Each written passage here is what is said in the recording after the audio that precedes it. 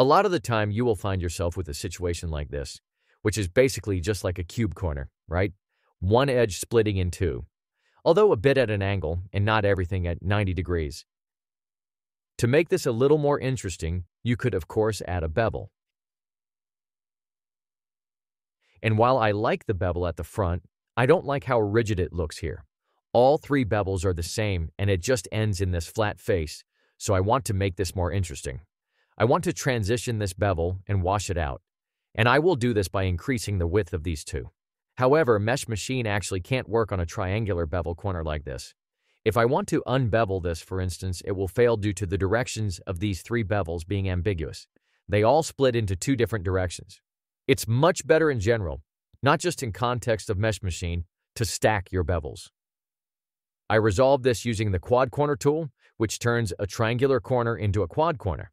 And now this bevel clearly only goes in this direction, right? And this one runs into this face. At this point, I can actually unbevel or unfuse these.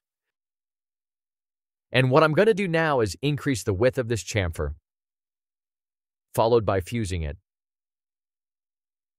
Same for the other one. This is much better. I like the thin bevel at the front, but the transition in the back is still very primitive and obvious. What you can do then is unfuse this, widen this section by a lot, and then fuse it again, which gives you a much softer fall off and transition.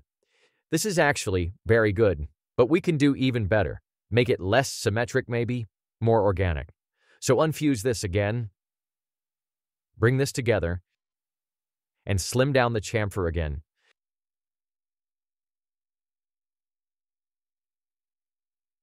Unfuse this as well, and then turn the corner to redirect the chamfer's flow to the side.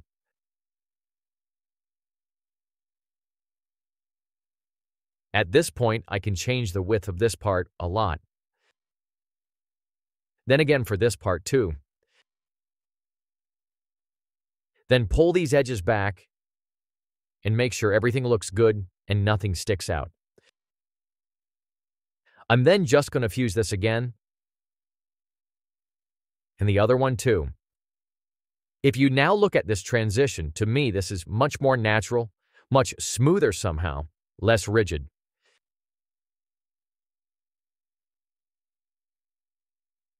There's some streaking here, which is a result of these long, thin faces not being perfectly planar, and you can simply loop cut to get rid of this. And look at that. Very tight in the front, very smooth in the back. Beautiful. What a difference compared to the beginning.